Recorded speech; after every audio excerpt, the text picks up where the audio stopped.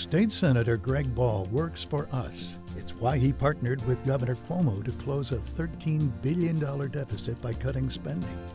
Greg Ball capped the nation's highest property taxes and repealed the MTA payroll tax. So instead of paying higher taxes, business can create jobs.